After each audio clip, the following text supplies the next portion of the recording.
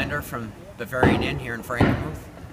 The uh, covered bridge that I'm holding onto the roof, I haven't done this for 30 some years because the covered bridge was built on dry land and pulled across by oxen 30 some years ago.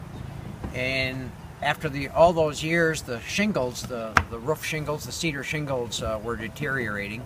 So it was time for uh, to re-roof it, to re-shingle it.